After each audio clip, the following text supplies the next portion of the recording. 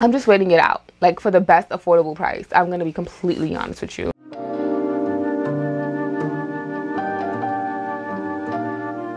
So what's good Coco crew? I'm back with another video and as you guys read by the title, I'm going to be showing you guys my fall wish list. This is something a little different for me. Typically I show you guys a haul of stuff that I've purchased for the fall or spring, summer, winter, whatever. I would typically show you guys the items after I purchase it but I was like why don't I just let the girls know what I'm looking into buying this fall season. Some fall trends that I see coming and you guys love when I talk about fashion like when I just sit down and just talk because you guys know I could talk for a really really long time. So yeah, I just decided to show you guys like my fall wish list, some items that I'm really, really like interested in purchasing this fall. There's a big chance that I might purchase these items, but I just wanted to let you guys know because when I shop, I try to shop when the item is at a really, really low price or if it's about to be out of stock.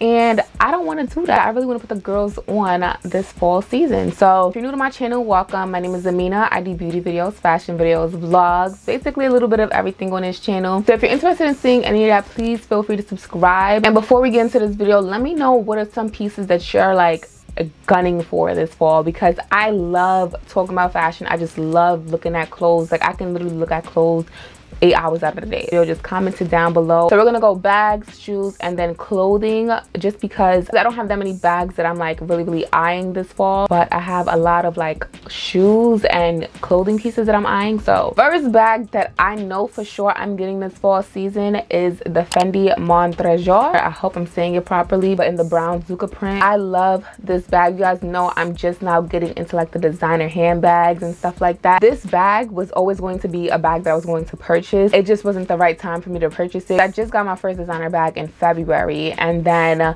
springtime was coming up. So I was like, this is more of like a fall winter bag. So let's purchase it during fall and winter. It's fall and winter and we're about to get this bag. I love this bag so much. It is a bucket bag and I can see myself easily dressing this up and dressing this down. Everybody that I've seen with this bag has just styled it so effortlessly and it's just such a beautiful bag. I love the brown. I love the black. I love the gold elements of it. I can literally wear all black, right? All black even a black booty throw this bag on it just elevates the look completely. Even though it is a monogram print it doesn't give gaudy it doesn't look cheap and i think i will get the crossbody strap to go with it so i can wear it on a more casual basis. Night out date night whatever i'm throwing this bag on. I see myself wearing this bag a lot this fall so that's why i'm like i need to get this bag. Like this is a bag that i really really want and i know i'm gonna get it. I have my ysl here and i literally wear that bag 24 7 so i know i'm gonna get a lot of wear out this bag just because of the colors, the style, and everything. It is 1950 excluding tax. I'm assuming it probably might get to like 21 or 2200 depending on which state I buy it from. If I buy it from Jersey or if I buy it from New York, it just depends on where I buy it from. So it is a cute coin, but I really do see myself getting my cost per wear out of this. So definitely something that i'm really eyeing. Bag that i'm eyeing is by goyard. You guys know i love me some goyard. Goyard to go home period. I love me some goyard. As you guys can see this is my first goyard bag right there. And i was actually going to be purchasing two more goyard bags this summer. It just didn't work out. When i went to the store they didn't have the specific color or they didn't have the specific style. And they were like i would have to wait a month. And i'm just like do i really want this bag? Especially since i bought a colored bag already. And not saying that I rarely wear it I just don't reach for it as much. So I was like, let me hold off on purchasing any more colored bags from Goyard right now because I don't know how often I would reach for the bag. But don't get me wrong, I still love my um, Muse Vanity, the blue. I love it. It's such a fire statement bag. I love that bag. Do not get me wrong, but I just don't reach for it as much. But I definitely do want to tote. I've always loved Goyard totes ever since I was in middle school, high school seeing the girls walk around with their Goyard bags, I was like, damn, like my parents was not dropping $1,200 on a bag. They were barely dropping 200 on a Tory Burch for me. So if I wanted this bag, I had to get this bag on my own. And I really love the St. Louis GM bag. I think it's just such a beautiful tote bag. I do want a bigger bag and I feel like this is the perfect bigger bag. I love the style of the bag and I know that I'm gonna get a lot of use out of it. A work bag, school bag, travel bag. It's something that I know that I'm going to use a lot. Currently, the bag that I use for almost all of that, like work, work, travel, school is my Telfar, the black large one. And I like that bag, don't get me wrong. The one one thing that I don't like about it is that I can't wear it as a shoulder bag. I'm talking about wearing it as a regular tote, not that long strap because that long strap hits like my knees. It's just so freaking annoying. And I do like that bag. I still would probably reach for it for travel purposes. This is more so if I'm going on vacation, vacation, and I just need like a cute little tote bag to carry my personal items, my laptop and everything, or a work bag when I put my laptop, go edit or whatever. That's really what I want this bag for. Um, if you guys don't know, Goyard doesn't list their prices online. You have to go into an actual Goyard store to uh, get the price information, but I believe this is like 2200 if I'm not mistaken. Um, I, I don't think it's more than 25 for sure though. But the last time i was like really really looking into it i think it was like 18 or something. I'm really not too sure but i'll call them tomorrow morning actually and just ask them what's the price because they'll let you know over the phone. But goyard only allows you to purchase in store. So that's that's that. Like you can't purchase this bag online. But i would like to get it in its classic colors black and gray with the brown trim. It's really classic but fashionable and i really like that. So the next bag that i'm like looking at but i don't think i'm gonna get is just really like a wish list item is this loewe puzzle bag. It is the color black one and it has like different shades of green on it. I love this bag. I feel like this is the perfect fall bag. But i'm just being real myself. I don't know how often i would reach for this bag specifically just because I mean, honestly speaking, I think I would reach for it a lot because I do have a lot of camo, a lot of like olive green. I can, you know, style this bag very, very easily. It is still a wish list bag because this is not something that I've been eyeing for a really long time.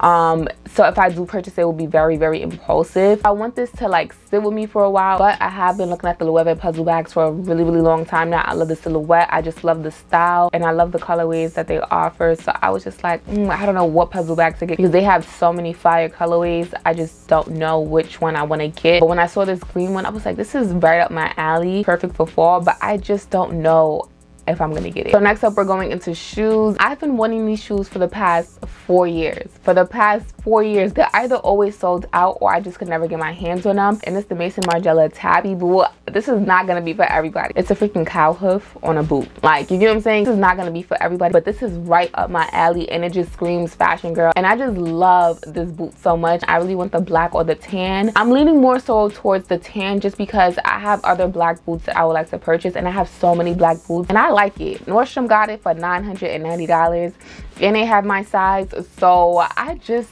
I just might get it real soon. Like I said, this is not gonna be for everybody. I know it's not gonna be for everybody, but this is what I want. And since I really want the tan, I can wear it with denim, I can wear it with leather pants since it is fall. Like I can see myself really wearing these shoes. I really wanna go and try them on to see what size I am. This is a shoe that I've been wanting for four years. So next up is the girl's fave winter boot. It's a Givenchy Shark Lock boot, but I will get the ankle version just because I got thick calves and I'm not even gonna sit here and play myself and get the knee highs.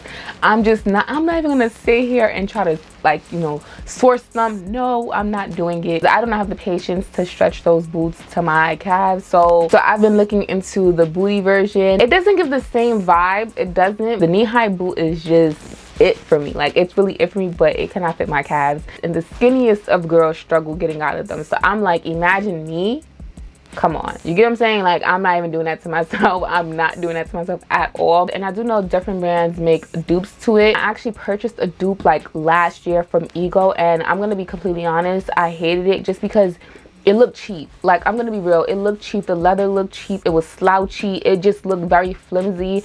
And if i'm gonna get a dupe of something i wanted to give the same quality just at an affordable price point. When i say same quality i'm talking it looks expensive it's just not expensive. And every dupe that i've come across for these specific boots just have not been doing it for me at all. Um, i feel like the one brand i will purchase a dupe of this boot from is steve madden I don't know what Steve Madden has, but any dupe that Steve Madden has on their website looks identical to the real thing. They just either change the heel height or change like a very, very minor thing, but it does not look cheap. The quality is there, and that's what I want in a dupe. So if Steve Madden makes this boot, I'm a copy. I'm a definitely copy. But for me personally, I prefer my dupes to have their own twist to it. I, like, I don't want the boot to try to look like, oh, it's supposed to be a Givenchy, but it's not a Givenchy boot. This is just my preference. Like, I want the boot to have that fold over detail, but have its own twist to it. Um, I don't want it to look like, yeah, like is something that it's not. I don't know. That's just me. Um, that's how I feel. That's just how I feel. That's what I like in my dupes. I don't want it to give like it's a replica of it. No shade to anybody that wear replicas. I really don't care. Like I really don't care. I'm just saying I prefer a certain look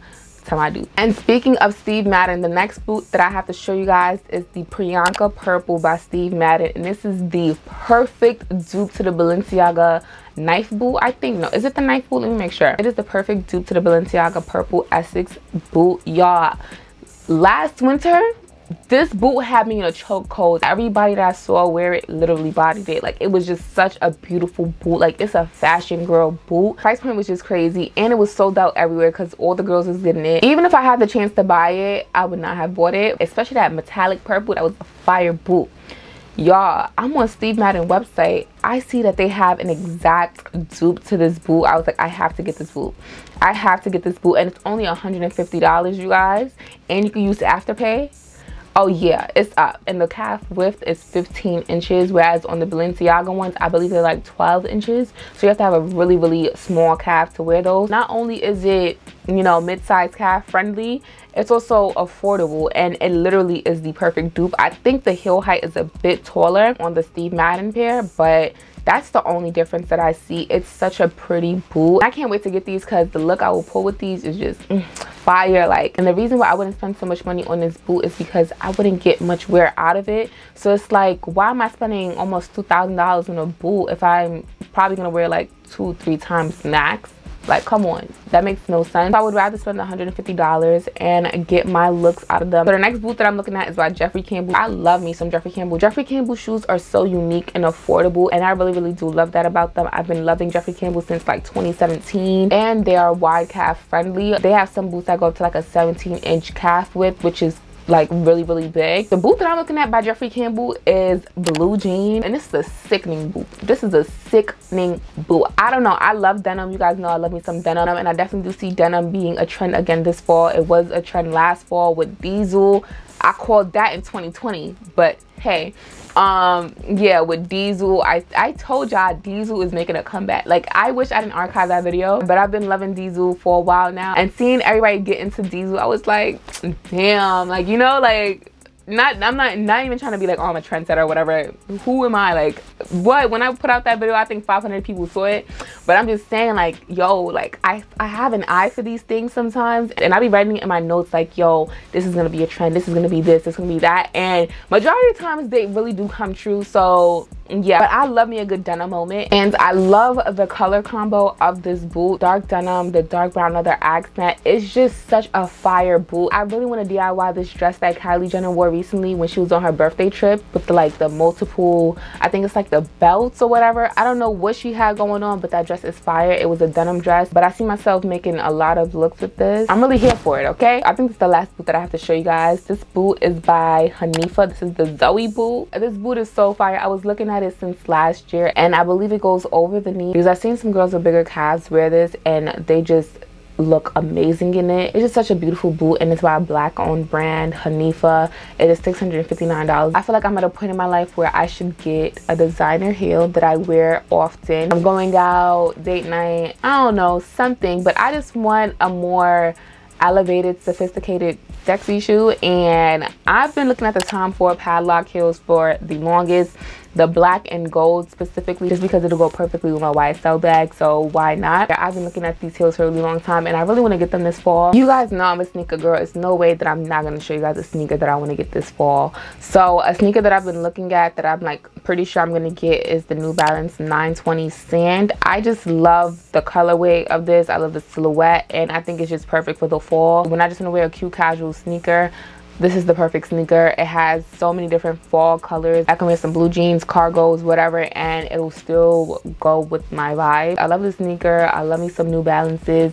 They're super duper comfortable but they do have it on SSENSE for 265 i'm not too sure what was the retail probably like 200 but i just like the sneaker. It's such a beautiful sneaker especially for the fall time. Every season i try to get a new pair of uggs. I don't know what new york snow got in it but it just messes up your boots and they just look so dirty and like dingy after one one winter not one winter i may be dragging it if you're not wearing it in the snow then it's not gonna look you know messed up but i'm wearing my uggs in the snow because they keep my feet warm so i'm gonna wear them in the snow walking or whatever so they get messed up. I don't like my Uggs have like that water stain on them. I don't I don't like that. So I want to get another pair of Uggs. I want to get the classic mini two boot, um, preferably like an olive green color. I don't know because I always do black, I always do tan. I was like, let me do something else, something different that'll still go with a lot, but just something out my comfort zone. So probably like an olive green or like a sage green. Probably not sage green, more so olive green just because of the fact that I know myself, it does get messed up. It doesn't look too bad, but I just want a pair of Uggs for the winter time. I think this colorway is perfect